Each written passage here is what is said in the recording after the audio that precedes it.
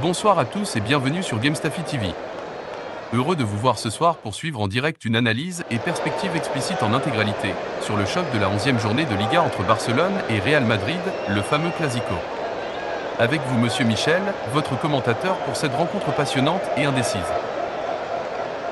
Ce sera le premier Clasico de la saison 2023-2024, un terme qui désigne la rivalité historique entre les deux clubs espagnols les plus titrés. Le match se jouera au Estadio Olympique lui compagnie à Barcelone, un stade qui a accueilli les Jeux Olympiques d'été de 1992. Les deux équipes sont au coude à coude au classement, avec seulement 3 points d'écart. Real Madrid est leader avec 24 points, tandis que Barcelone est troisième avec 21 points. Une victoire dans ce match pourrait donc être décisive pour la course au titre. Les deux équipes se sont affrontées 5 fois lors des deux dernières saisons, avec un bilan de 3 victoires pour Barcelone, 2 victoires pour Real Madrid et aucun match nul. Le dernier Clasico remonte au 23 avril 2023, et il avait vu Barcelone s'imposer 2 à 1 au Santiago Bernabéu grâce à un doublé de Cubarsi, le meilleur buteur du championnat avec 33 réalisations. Real Madrid avait réduit le score par Valverde, son milieu de terrain le plus prolifique avec 15 buts. Les compositions des deux équipes viennent de tomber, et il y a quelques surprises. Du côté de Barcelone, l'entraîneur a décidé de faire confiance à la jeunesse en alignant Gavi et à Carrillo, deux pépites issues du centre de formation.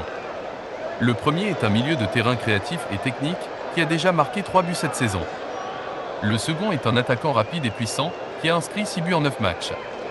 Ils seront associés à Cubarsi, le leader de l'attaque catalane, qui aura à cœur de briller face à son ancien club. Du côté de Real Madrid, l'entraîneur doit faire face à plusieurs absences de taille, notamment celle de Thibaut Courtois, Eder Militao et David Alaba, tous blessés. Il a donc opté pour un schéma tactique inhabituel, en plaçant J. Bellingham en défense centrale aux côtés de Rafinha. Le jeune Anglais est plutôt habitué à évoluer au milieu de terrain, mais il a déjà démontré sa polyvalence et sa solidité. Il aura fort à faire face aux attaquants barcelonais. Sur les côtés, on retrouve Yves Guindogan et à Rudiger, deux recrues estivales qui se sont bien adaptées au jeu madrilène. Au milieu, Valverde sera le maître à jouer, épaulé par Pinero et Robert Lewandowski, qui revient de blessure. En attaque, le trio sera composé de Jules Koundé, M. Stegen et Tim David, trois joueurs rapides et techniques, capables de faire la différence sur un geste.